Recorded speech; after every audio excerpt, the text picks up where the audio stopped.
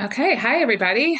Erin Johnson here with the Outstanding Ohio Webinar of the Month. And this month's topic is the top 10 mistakes that home sellers make and how to avoid them. So, um, before we jump in too much here, I'm just going to do a quick introduction on me. Again, Erin Johnson. I'm with eXp Realty.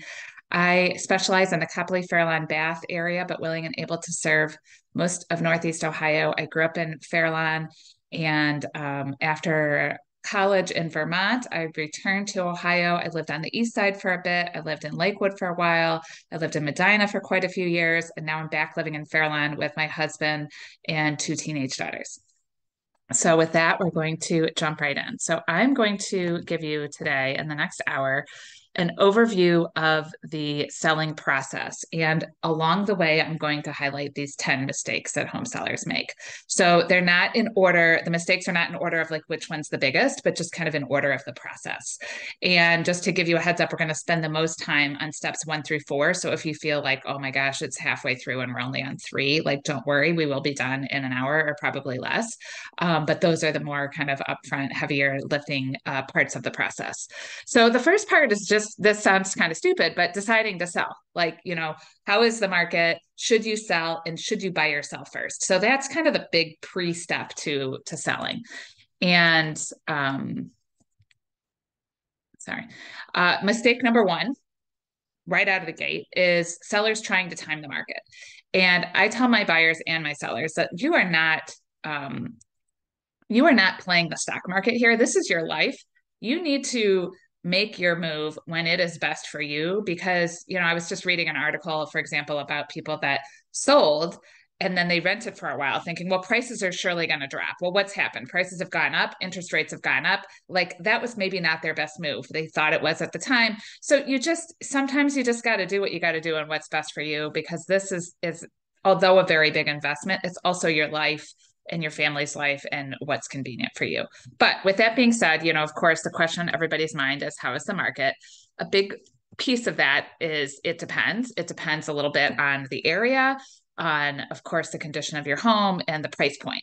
So, certain price points, certain areas are moving quicker than others.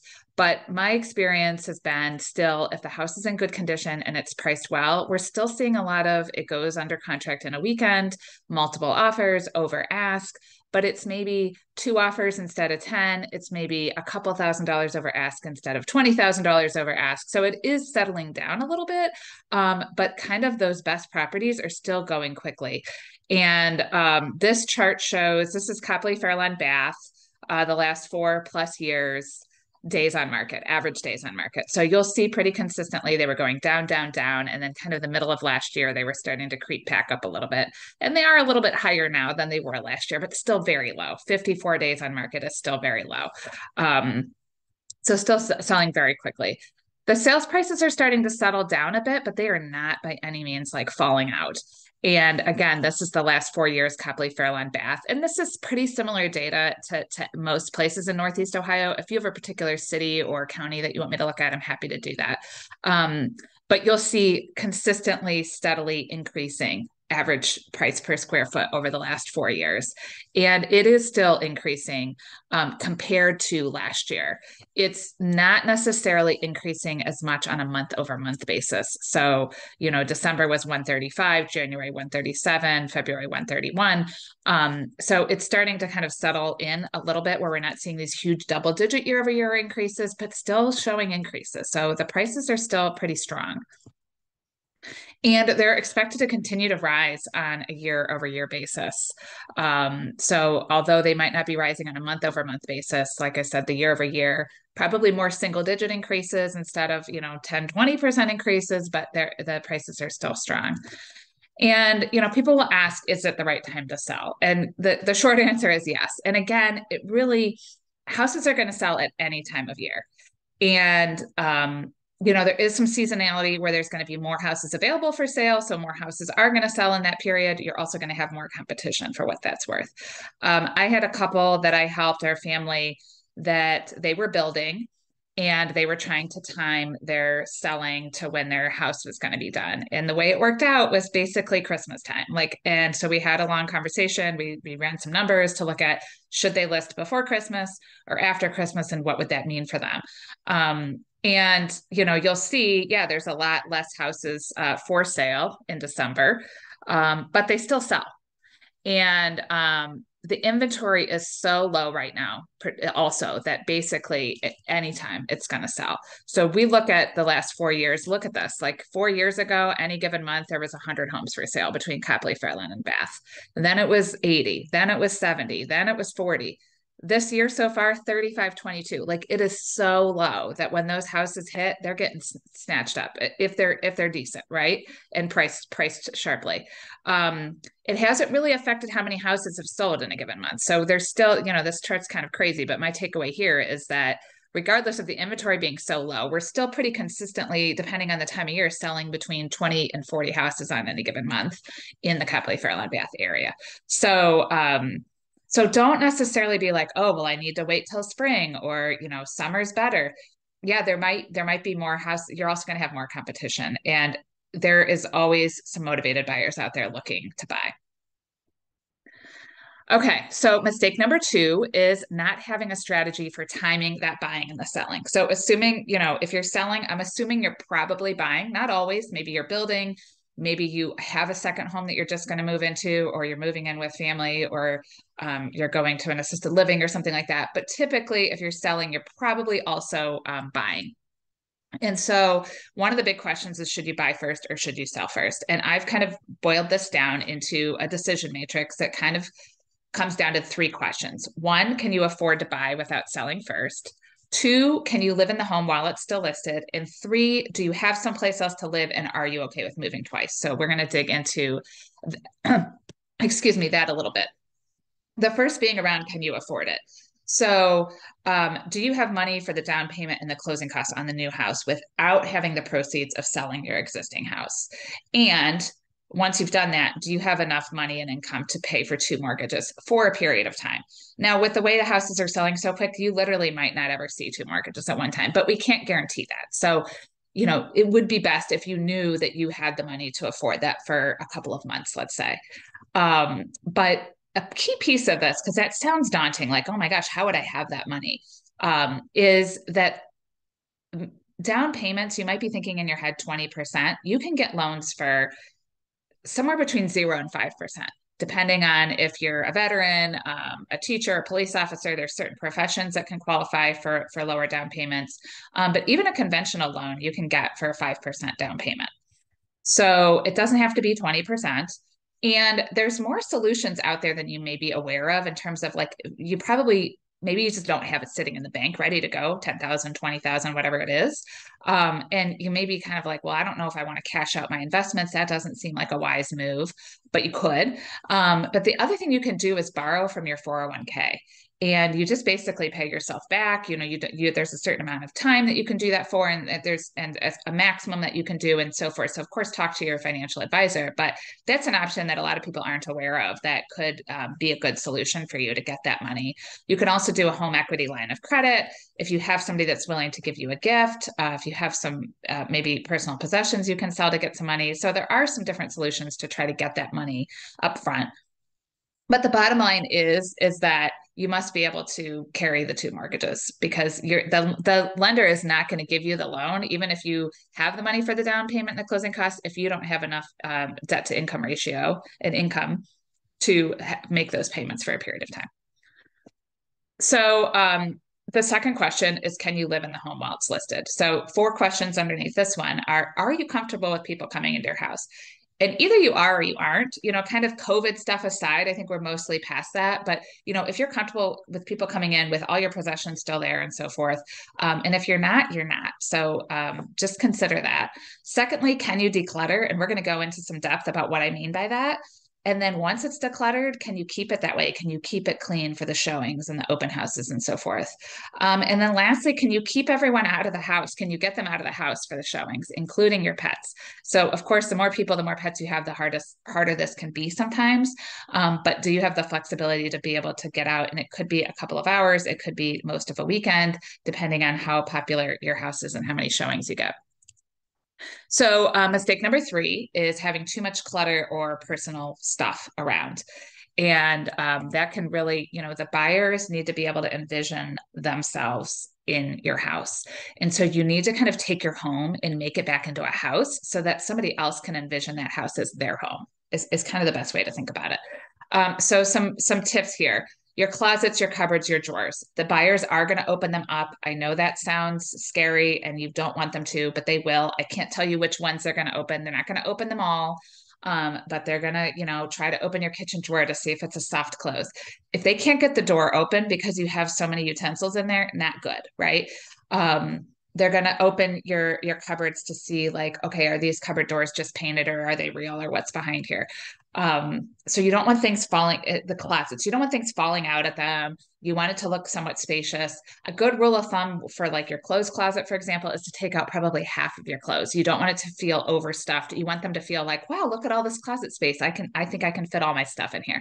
So as much as you can declutter and just you know pr- maybe pre-pack some of these items or take the chance to get rid of them if you've got 10 spatulas um, the the better to kind of keep again make it look like you have more space than you do. Same goes for any countertops any kind of a flat surface. So whether it's your bathroom vanity your bedroom dresser as much as empty as you can make that be you know like there might be a, a lamp or a book or something but um, you want it to take you know your coffee pot your toaster your knife block take all that and hide it away somewhere because um, once you put those items on the counter, usually there's not a lot of counter space left, and you want them to walk in and feel like, wow, look at all this counter space. Or I can see my own, like where I'm going to put my coffee pot. Let them envision it themselves. Um, garage and basement, you have a little bit more leeway here. People are, you know, kind of expecting that you might have some storage, some boxes, and so forth. So, if as you're decluttering, if you can't find an attic or or if you can't do like an offsite storage for it, or a friend's basement you can put it in something like that then it's okay to have it in boxes or totes but the more organized it can look the better and try to keep it kind of to one area of the house. So you know one corner of the basement or maybe one side of the garage. You don't want the entire garage to be full of stuff because they still want to be able to assess like what does this garage look like? Can my car fit in there and things like that? So try to make it just as organized and as condensed as possible toys and paperwork again you know you want that clean surface of your desk. You don't want them looking at your papers um, and just make it real real uh, clean. Toys if you can um, get rid of some of that you know hide them away. Um, one example like in this house they had this they didn't have a lot of toys at all but they had this basket of toys. That might be something that you want to throw in your trunk when when you go for the, when there's a showing. You know take that, have that stuff, like have it still available for the kids to play with, throw it in a laundry basket, throw it in a hamper, and just throw it in the car when you go um, when you step out for the showing, just to have it not be cluttering up the place. Um, so that's just a bit on decluttering uh, personal items, religious items. You know, if you can take down pictures, um, anything that's really going to make it feel like your home and not necessarily somebody else's. You want to try to get that out. Um, Okay, so then the next question was around do you have someplace else to live? You know, maybe you have a lake house, maybe a family you can go live with, maybe you could rent someplace, maybe you could go to a hotel. Something to be considered. So if you were to sell your house before you found another one, kind of what's the plan B? And of course, the more kids you have, the more pets you have, the more complicated this becomes. Um, it's a lot easier to just take yourself or maybe you and a partner to a, to a hotel. But um, when you've got three kids and five dogs, it's it's uh, a lot more of a challenge. Um, and if you are going to have to move not directly from the place you own into your next place, it's probably going to mean putting your stuff in storage. Unless that rental or that temporary location is big enough for you to store all of your stuff, you're probably going to look at putting your stuff in storage. You could do like a self storage where you're you go and you put it in the unit yourself, or um, like some kind of pod or um, smart box where you can fill it up in your driveway and they take it away and store it for you uh, until you're at your next location. Just a couple things to think about for that. There is, of course, a higher cost associated to that. So you're basically going to pay the movers to move the stuff from your house into the storage and then pay them again to move the stuff from the storage into your house. So your your mover cost is is pretty much double. And then you're also going to have to pay a monthly storage fee.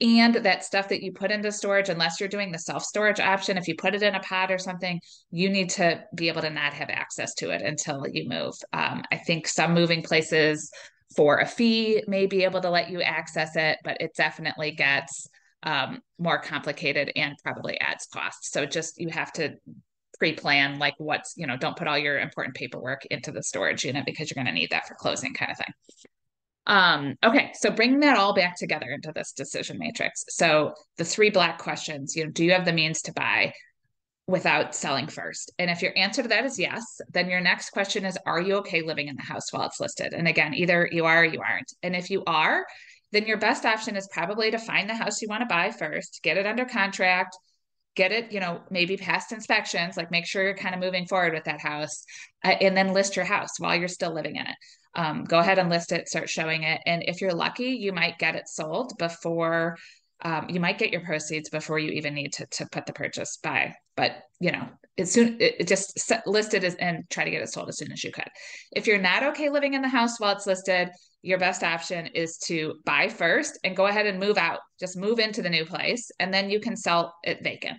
Um, you could leave a few pieces of furniture behind strategically to kind of stage it. We could take pictures with some furniture in so it, it, looks better, and then it would just show empty. So there's some options there, and it's not the end of the world um, if you don't have your stuff in there to, to sell it. So that's um, option two.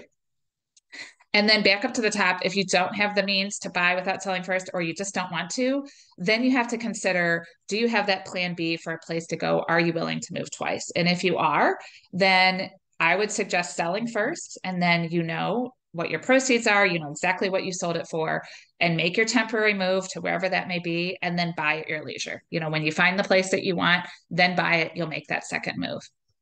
If you're not uh, if you're not interested in moving twice or have a having a place to go, then um, your best bet is to sell first but buy immediately after. And you can, and we'll talk about this a little bit more later, but when you're selling, you can ask for some extended possession time that kind of gives you that wiggle room to go out and find something in the meantime, but you know what your proceeds are going to be and when you're going to get it. And you can time your buying to close after that.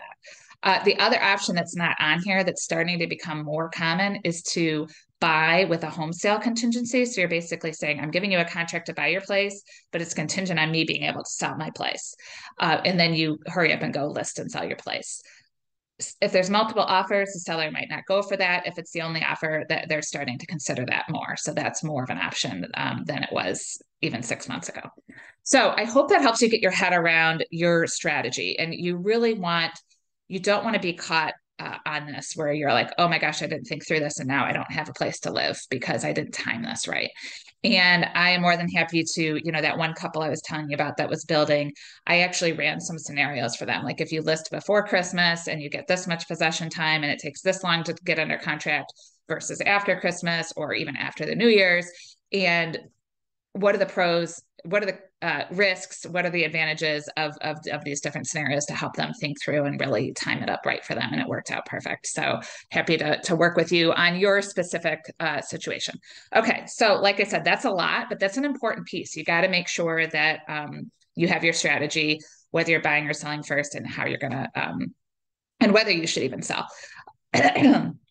Okay step two is the pre- preparation hiring a realtor doing any repairs or upgrading, getting your house staged. So, uh, mistake number four is not working with a realtor.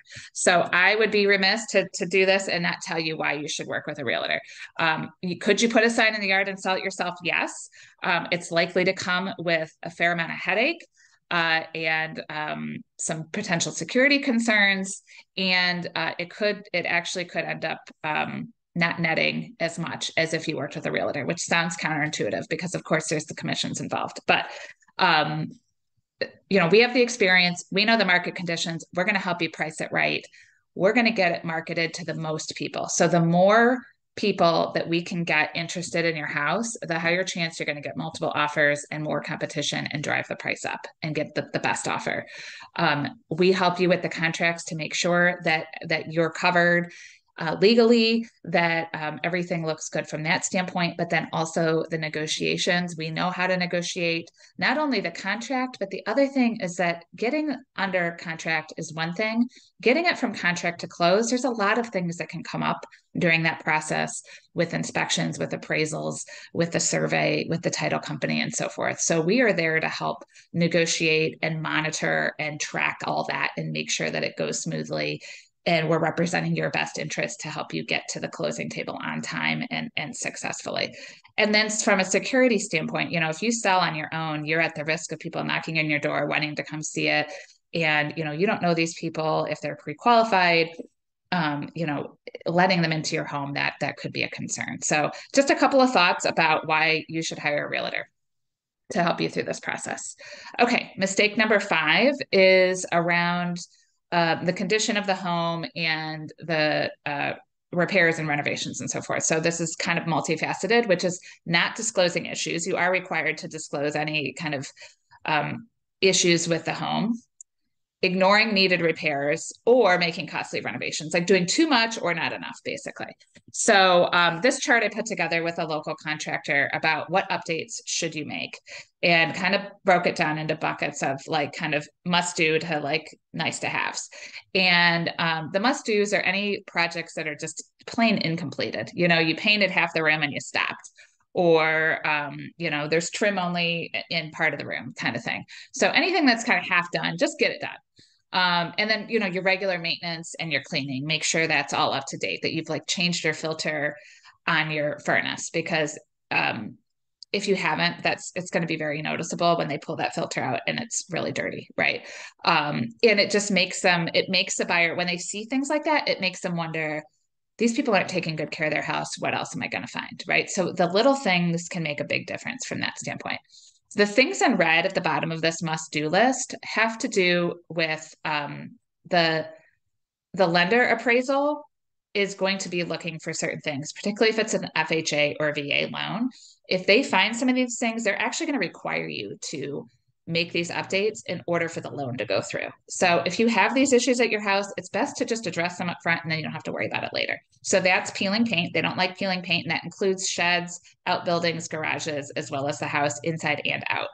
Um, exposed wiring needs to be concealed, covered, not just no wires just hanging out. Um, broken gutters, broken windows are going to have to be either fixed or replaced. And then um, if there's missing handrails on stairs, that's considered a safety issue that's going to get called out in the appraisal, and you're probably going to have to fix it. Some other things to consider doing are um, removing wallpaper. So most people are not a fan of wallpaper. Um, you know, it is making a comeback in some circles, but if it's dated grandma type wallpaper, um, most people don't like the look of it, one, but two, they don't like the idea of having to take it down. Um, so even though it seems like a simple enough thing, like, well, they could take it down and paint, they're not going to want to. Um, and particularly if it's in one of the first areas that they see when they walk in the home, it's in your foyer, it's in your kitchen, it's in your living room. Um, you know, maybe if it's in a bedroom or there's a border in a bathroom, it, it's not as bad as like a big area that's very visible. Um, I do have a great wallpaper removal lady. So if you have wallpaper, we can um, help you get that taken care of in advance. Um, consider painting if there's like a really brightly colored room, um, if it's unfinished, or if there's any kind of like major staining, or you can like see mold or mildew or something like that, then definitely you're going to want to paint. Um, but if it's, you know, your kid's room's pink or something, it's, you know, people might not want that, but if your kitchen's pink, then we, we're going to have a different conversation. So again, the main areas um, downstairs are probably the most important to make sure that the paint is um, fresh and, and, neutral if possible. Landscaping, cleaning up your landscaping um, can go a long way. If your faucets have, you know, need some caulk on them, carpet not necessarily need to update it but if it's like visibly stained and you know try to do a um, get it cleaned. That can go a long way. Um, but if there's a ton of staining in it, you may want to consider removing it and replacing it, or if it's like really old, like shag carpet from the 70s. And then the other thing, like the front door, and I'll just call it the front entryway. Um, the buyers sometimes spend an inordinate amount of time at the front door. And by inordinate, I mean like it might be two minutes while their realtor is trying to get the key out of lockbox and get the door open. But they don't spend like two minutes in any one small place in the whole rest of your house, right? Because they're moving, they're looking around or whatever.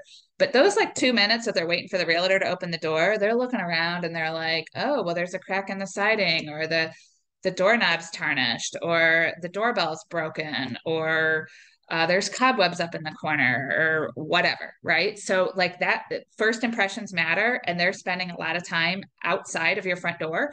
Um, so, if you are, you know, if, if the front door needs painted, like just pay real close attention to that area in particular. Um, don't bother, like, don't do a major renovation, anything that like an addition, anything that's going to take a long time or cause financial strain. Like now is not the time to like completely redo your kitchen or anything like that. Um, and then from a bonus standpoint, if you can update the electrical, if you have an outdated electric box, um, if you're if you get really old electric, that can go a long way maybe have your roof inspected just to check the condition of it and to see if there's any issues with the roof. The garage door is like one of the highest return on investments you can get for the cost that it takes to get a new garage door to like the appeal to the buyer and the value to your home, particularly if it faces the street. Because again, it's one of the first things you see. So if you pull up and there's like a big crack in your garage door, or may, it could mean that you just need to like paint it and get some new hardware for it but you want that garage door looking nice and that's something that you might want to consider replacing if it's in really bad shape. The hot water tank if it's really old those aren't too expensive. That might be something worth considering replacing. And then power washing um, your siding your deck your patio even your driveway if it needs it um, that can go a long way to just really make things look um, fresh from the outside um, okay, so that's getting the house prepped, ready to go. And then now we're ready to list it. So we're going to talk about pricing, um, getting it photographed, how we market it, how we do showings and open houses. So mistake number six, and this is probably really mistake number one in terms of like the worst mistake you can make, which is overpricing the home. And um, there's kind of a couple different pricing strategies happening in this market right now where some people are like, you know what, I'm going to price it kind of like purposely low because I want to create this like circus in this bidding war and get all this excitement going for it. So maybe you do the homework and you think your house is worth like 225 and you're like, let's list it at 200. Now, here's the pros and cons to that. That could work. You could you could generate a bunch of showings, get a bunch of exciting excitement. You could get a bidding war, um, but it also could backfire. Maybe that doesn't. Maybe you don't get all this craziness, and maybe somebody you get one offer and it's for 200,000 and you're like crap like I really wanted 225 well how can you like I mean you can say no because that's your your prerogative but like how are you going to say no to like they gave you what you asked for? You have to kind of be willing to accept that. Um, and it could also this sounds backwards but it could deter some potential buyers because they're like why is it priced so low? Like they're they're kind of thinking what's wrong with this place or the neighborhood or something? Um and it also sometimes attracts the wrong buyers. So there's buyers out there that are like really like 190 buyers, or like maybe they could stretch to 200 and they're going to come see it and they're going to get all excited. Like, look at what I can get for 200 and they're going to put an offer in at 200 thinking like this is great. I can offer you asking price when it's really worth 225 and somebody else is probably going to offer you 220 or 225 and those buyers are just going to get disappointed and they were never really your buyer to begin with because that that's just too far off right? Um, and then on the other end of the spectrum people uh, have been just like hey you know what? This market's crazy. Let's just like go 250 like why not? Let's just see what happens right and what could happen there is that you could get lucky. Maybe somebody comes in and offers you the 250 you're probably going to get a lot less showings but maybe maybe it works out for you. Um, but more than likely you're going to have to lower the price uh, which makes usually takes longer to sell. And again it could deter some potential buyers that they might just see like i can tell that's overpriced. I'm just not even going to go see it. Um, some people want a price high because they they think they need to leave room to negotiate to like come back down to the price they really want um, but but buyers are are going to see through that and they're just going to say, no, I don't think it's worth 250, so I'm just not going to go see it. So I'm more in the camp of like kind of park it, price it as close to market value as you can. Try to attract as many qualified buyers that are in that price point to, that can afford your house and allow the market to determine the value. And, and truth be told, regardless of what you do, um, you know, I don't choose the price. You don't choose. I mean, you choose what you want to list it at but you don't choose the price that it's ultimately sold at um, because it's the market and the buyer. It's the buyer that says, I'm willing to pay this for it. That's who dictates like what it's worth and what it's going to sell for. And um, and you'll see pretty quickly if you price if you get it listed and you don't start seeing some showings, you've probably priced it too high or there's something wrong with the way it was listed. Um, and that the the excitement, a lot of activity happens in those first couple of weeks. So you want to you would definitely want to capture that. And the only other thing I'm going to say about pricing is that you should consider um, the price point. So if you are thinking like I might want to list it at 200, don't list it at 202 because people search they put a maximum in, sometimes a minimum, but always I would say a maximum when they're searching for their they put in their search criteria. And they usually search by pretty even numbers, like 200, 225, 250. They're probably not searching like I can go up to 205. And so if you're like on the bubble of like, oh, should we do 200 or 203 or 205? You're probably better off just doing 200 because then you're going to capture anybody that put 200 in as, as their max. If anybody did put 200 in as their minimum, you're also going to capture them which is one reason why I don't play the nines game. Because if you did 199.9, if they put 200 in as their max, they'll see it. But if they put 200 in as their minimum, they won't see it. So just something else to consider in terms of pricing.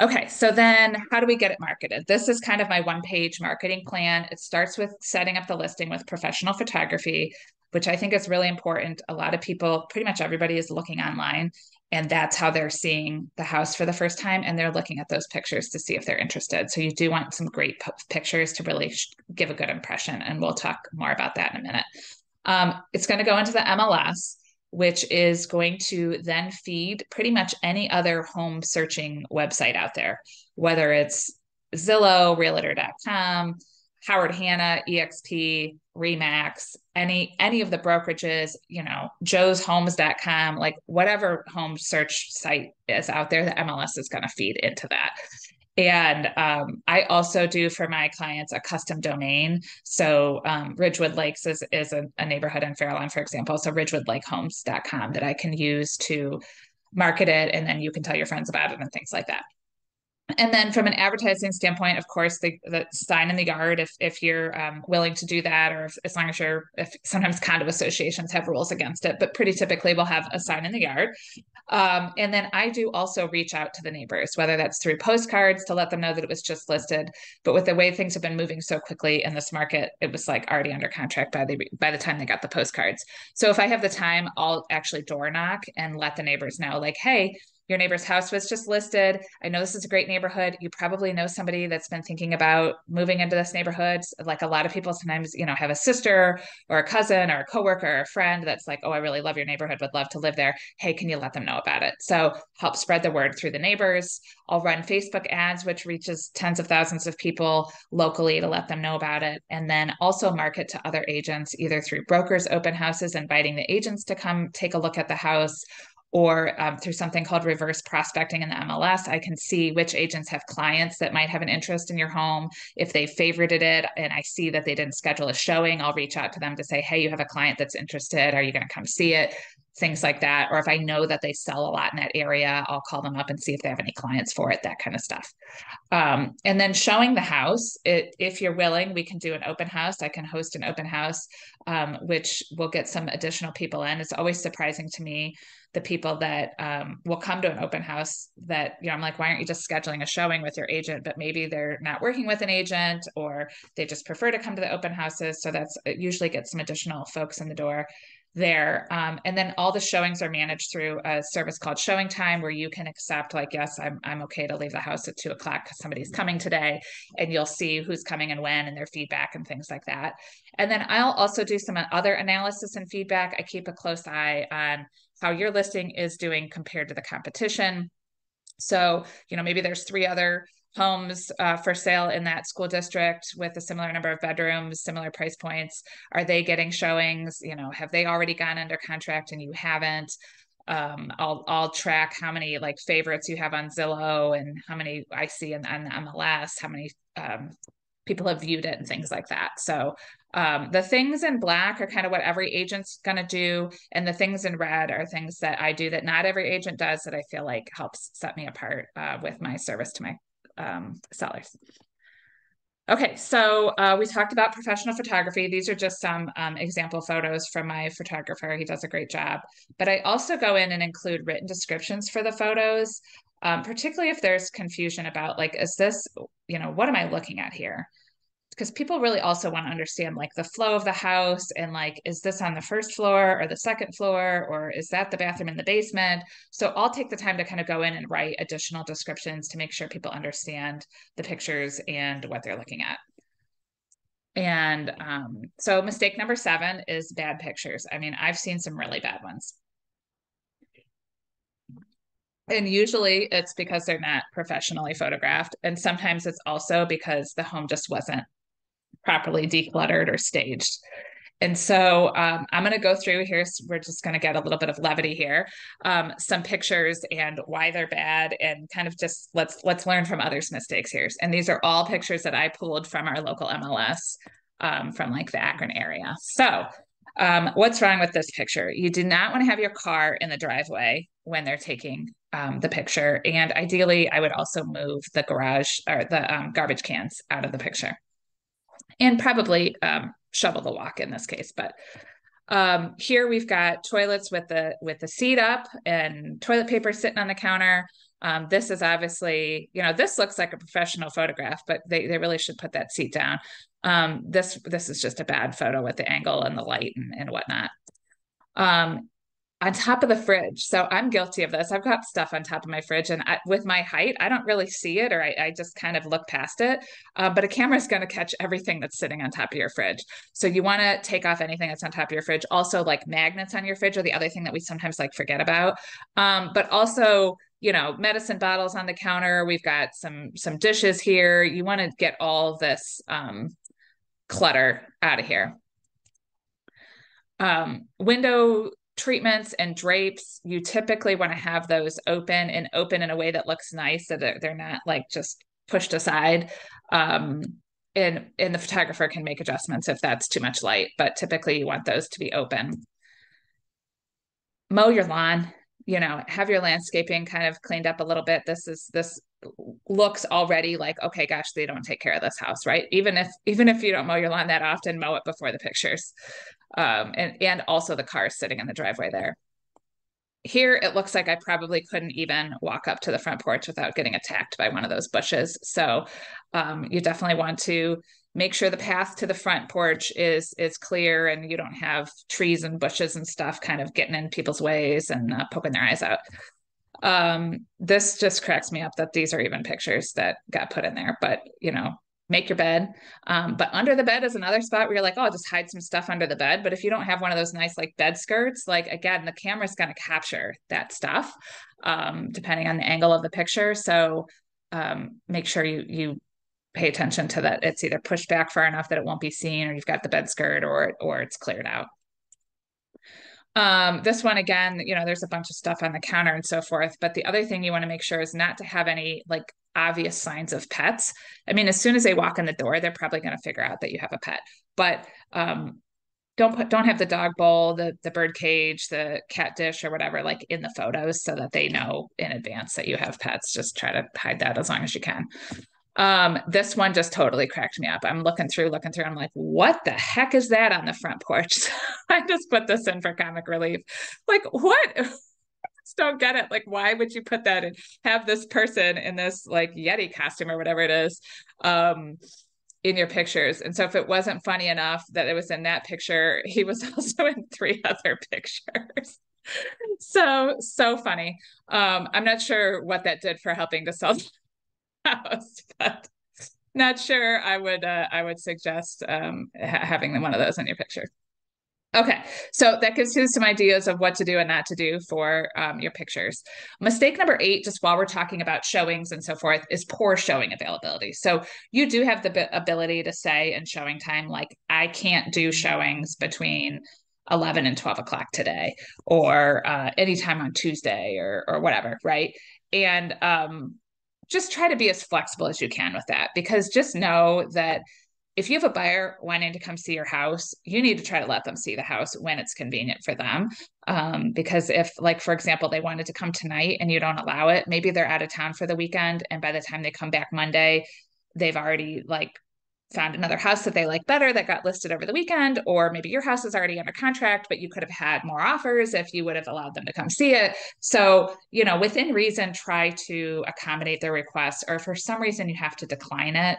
Um, give them some other options and try to try to work with the agent to get some other options um, as much as you can. Uh, it, you know, I've had instances, I've seen instances where it's like the amount of time they have blocked off is just so unreasonable that it's like, well, do you really want to sell your house? Because when can we come see it? Kind of thing. So just make sure you're you're as flexible as possible with your showing availability.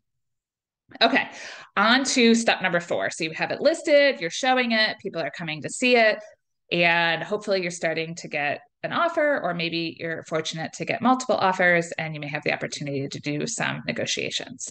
So, um, mistake number nine is taking the highest offer. So, this may sound again kind of counterintuitive like, of course, why wouldn't you want to take the highest offer? But we're going to talk through how there's multiple facets to an offer and particularly if you're in a, a, if you're fortunate enough to get multiple offers how you want to weigh those out and consider them. So um, this is kind of my one pager on multiple offer situations and the different levers that you may see in an offer. And these four at the top have to do with how much is the buyer willing to pay for it and how are they going to pay for it. And um, from a price standpoint, you know, the market was, I was basically telling my buyers, like, if this is the first, and I still do, if this is the first weekend on the market and you really want this house, you're probably going to have to offer asking price. The sellers are probably not willing to accept less than that at that point in time. Um, but if you know there's multiple offers, you're probably going to have to go af- above ask and you may want to consider an escalation. So an escalation is like bidding on eBay. So you're basically going to say, you know, hey, if the if the asking price was 200, um, I'm going to offer you 200, but I'm willing to go up to 220,000. And then you offer an increment and it's by increments of, let's say $3,000 over the next best offer. So maybe there's another offer that comes in at 210 that basically makes your offer into 213. So you're able to beat them out by an additional $3,000. Um, so you may see multiple offers and one of them escalating against another one. In terms of how they're paying for it, cash is usually king. Sellers like cash because they don't have to worry about the loan going through and they don't have to worry about the appraisal. Um, you want to make sure that you're checking that they ha- they have a proof of funds that they actually have the cash that they're saying they have. Um, but I wouldn't be necessarily afraid of of a, another offer that's higher um, or has some other favorable terms with a loan, um, you know, we can do our homework on how solid the, the they are as a borrower and how good the lender is and stuff like that. But typically, beyond cash, the next preferred option is usually a conventional loan, and if it can be with a trusted and reliable lender, which we can help you understand who those are. Um, and then less preferred from a seller standpoint is usually FHA and VA and that's simply because there's a, a, higher standard of appraisal that like an inspection that happens with the appraisal where they may ask you to make some repairs and stuff like that. And again, depending on the condition of your house, that really may be a non concern. Um, and we can help you understand whether, like, how big of a risk that is or how big of a concern that is for your particular situation. Um, and then earnest money, pretty much the standard is 1% of the purchase price, and it's typically refundable if the buyer walks away for certain reasons. So if it's a $200,000 house, it's $2,000 of earnest money that goes to the title company. It just becomes part of the buyer's down payment. It doesn't like add anything to your proceeds or anything like that, but it's just showing that they're serious and they're putting up money up front towards towards that contract. And then the closing costs, um, we are starting to see more where the buyer is asking the sellers to help pay for part of their closing costs. And um, this took me a while to wrap my head around because my first instinct, and it may be yours as well, is like, well, I got a lot of my own selling, like closing costs. Why would I want to pay some of theirs? Um, and really, how you should think about it as a seller is the buyer's asking you to help pay for your closing costs because they don't have the cash to do it. And they, um, it's a way to basically loop those closing costs into their loan. And so if they're asking for them, they probably need them. And you need to just really look at what your net proceeds are going to be for it. So if you're asking 200,000 and they offer you 200,000, but they want you to pay $5,000 in closing costs, your net is excuse me, is 195. That's still a better offer than somebody that's offering you 190 without any closing costs, right? So you just have to kind of look at the nets and compare net to net and um, understand that piece of it. So those are the four things having to do with price. There's two things having to do with the date, and there's two separate dates. They can be the same date, but they don't have to be, which is the closing date and the possession date. So the closing date is the date that you're going to sign the paperwork, you're going to get the proceeds, the deed's going to be filed, it's officially going to like go into the buyer's name, and it's not going to be your house anymore. The possession date is the date that you hand over the keys for the buyer to move in. And, you know, kind of standard is that that would be the same day. And then it might be about 45 days from the day you go under the contract, under contract until the day that you close and take uh, the buyers take possession and you move out. Um, but what's been happening with the market being so hot as it was is that the closing's been happening quicker. So it's become pretty standard to do a 30 day close. Uh, if they have cash, it could be quicker. But then also, in some cases, the sellers are saying, I want to stay in the house an extra couple of days, a couple of weeks, and it could be a couple of months. So, that example I gave you earlier about this couple that was building and they put their house for sale before Christmas, they actually negotiated, I think they did like a 45 day close and then an additional two months of possession. So they were able to get the proceeds from their sale before they needed to give them to their builder. And that two months basically bought them the wiggle room to make sure that the home was going to be ready for them to move into so they wouldn't have to move twice. And I think they ended up moving out about two weeks sooner than the two months, but it gave them that flexibility. And because it's still predominantly a seller's market, because the inventory is so low, if that's something that you need or is important to you, you can ask for it and you're probably going to get it.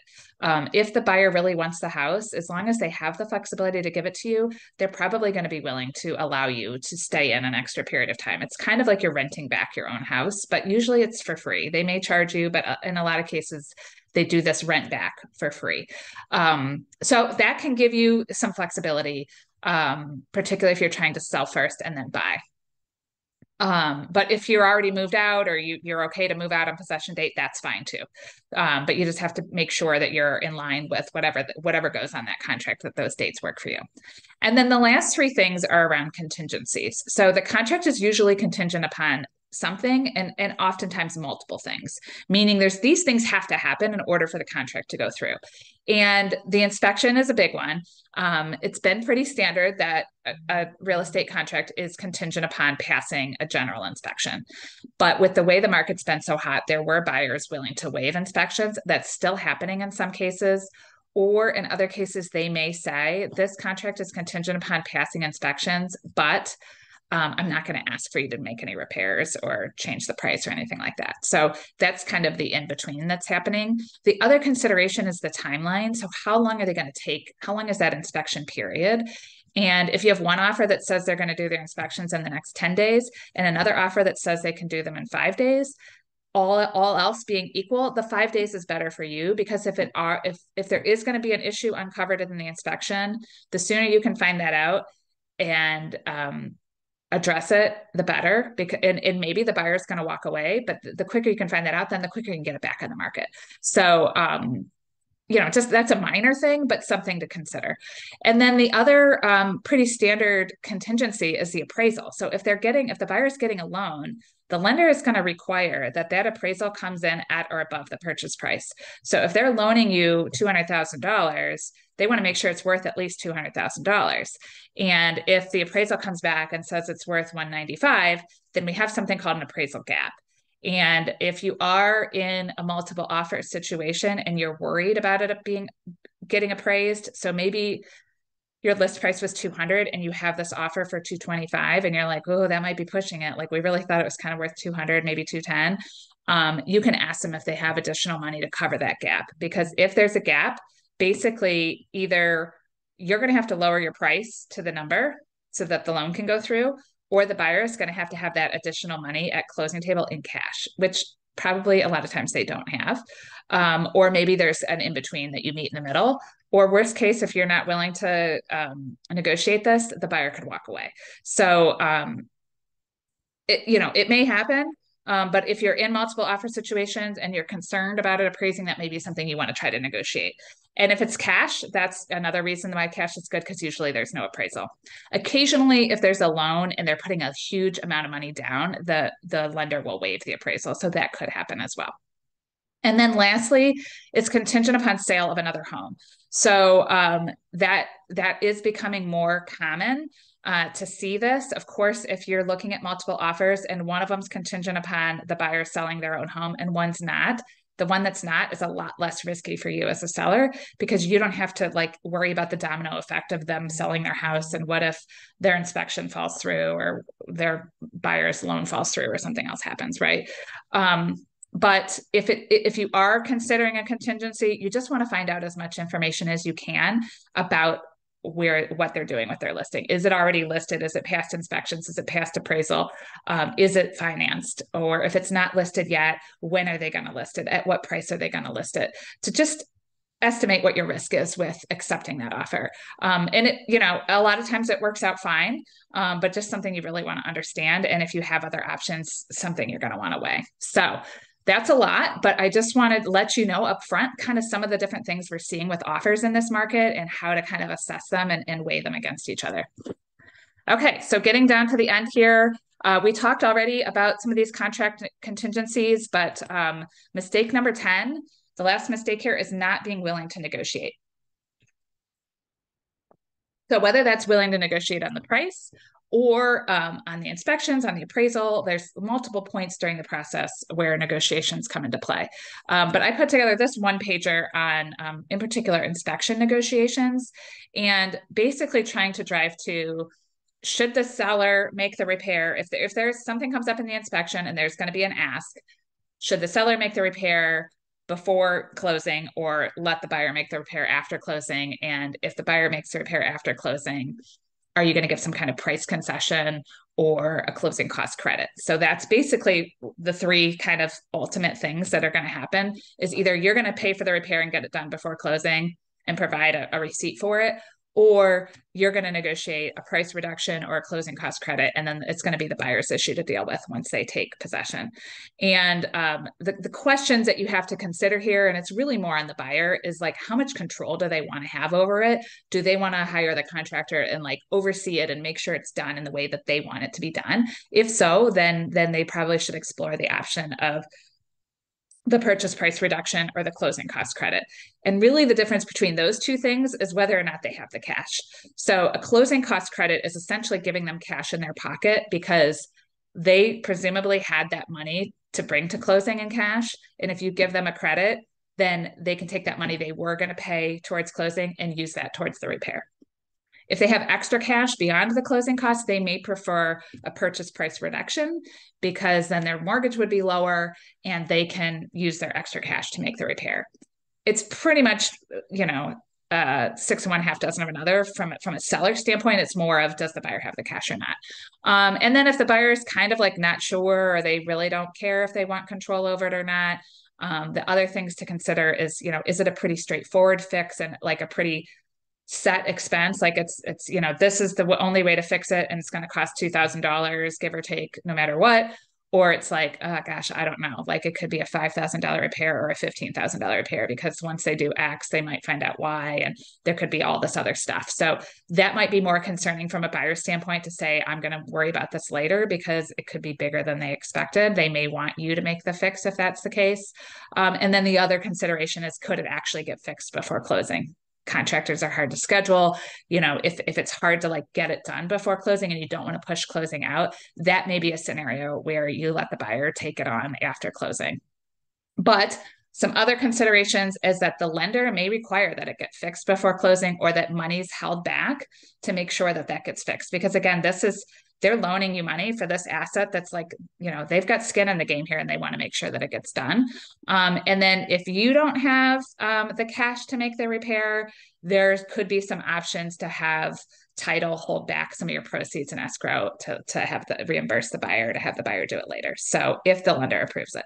So i know that's a lot but just kind of giving you a flavor of what might happen with um, inspection negotiations. And then um, now we're getting down to the final steps closing and possession. So closing you know usually the buyer and the seller are going to sign separately at your convenience at a location of your convenience. As a seller you can sign a couple of days in advance. It doesn't have to be necessarily on closing day the buyer is going to transfer their money into title, which is a, the down payment, their closing costs. The lender is going to approve that. And then um, the deed's going to get signed and the mortgage taken to the courthouse to be filed. And so the key takeaway here is it's not officially closed until the until that's filed at the courthouse. And so even though you signed in the morning and the buyer already transferred their their um, money over and the buyer already signed it's not closed until that happens which can sometimes take you know several hours so we have to wait for that official word from title that it's been um, the deed's been filed in order to hand over possession Closing costs, high level. Uh, this is what the buyer pays versus what the seller pays. Some of them are split, and the things in red are required by the lender total all in you sh- you can estimate around 6 to 8% of the purchase price is what you are going to pay as a seller in closing costs. That would include the commissions the title fees um, title insurance all that good stuff. But I will I, I run uh, estimated net sheets when I meet with you to say if we think it's going to sell at this price this is what you would net. At this price it would be this so you can get a better idea there. Um, and then possession. Like we talked about that could be the same day it could be a couple weeks or a couple months later couple things to note here. Don't wait to the last minute to schedule your movers and try not to schedule it for the day of possession because it's not although we work really hard to close on time it's not uncommon for that to move by maybe a day or two days. And you don't want to be hung with like oh my god the movers are coming all my stuff what am i going to do? Like just give yourself a little bit of wiggle room and don't schedule it for that exact same day. Make sure you change your address with the post office on your bills all that good stuff leave the house as clean as possible. You know, don't leave your trash. Um, window state treatments typically stay. If you if you um, said you were leaving the refrigerator, the washer and dryer, make sure you leave what you said you were going to leave, and don't leave stuff that you didn't talk about. So don't just be like, oh, I think maybe the buyer wants to have my rake or like whatever. Like make sure that they that's something they actually want um, and just you know it doesn't have to be spot like completely spotless but just a nice courtesy sweep the floors and wipe the counters and it's not like just completely dirty when they walk in would be um, the preference there transferring utilities you're going to provide the information to your realtor and then the buyer is going to request to have um, those transferred on the day of possession and then usually at least the way i do it i just have you leave the keys in the lockbox and extra keys on the counter and then once we get word that it's okay to transfer possession, that it's officially filed. I just give the other realtor the lockbox code. They give it to their buyer, they go deliver the keys to the buyer, and then I step back and pick up the lockbox later. So that's it. All right, we made it. You've sold your house. Hopefully, you've avoided all these big 10 mistakes. Um, not trying to time the market, not having that strategy to, to buy and sell seamlessly, having too much clutter, not hiring a realtor or picking the wrong agent trying to make making the wrong updates or too many updates or ignoring some of the the major um, issues or not disclosing the issues overpricing the home or not being realistic about the market and the condition of your home having bad photos poor showing availability taking the highest offer or an unwilling to negotiate with buyers. So i hope this helped you understand the process and the mistakes to to watch out for. And are there any questions? No questions, but just really rich and valuable information that I think, again, even if you sold a house before and bought a house before, this is stuff that we don't do every day that kind of gets forgotten. Mm-hmm. And um, I just, yeah, great, great, great information. Thank you, Lisa. I appreciate it. Um, our next webinar is April 19th on home appraisals. So I'm actually partnering with a local appraiser who is also a realtor, and we are going to just talk through the appraisal process and kind of how it works and, and what you need to know there. So hope you can join us again next month. If not, you can look for the replay on the YouTube channel. Thank you.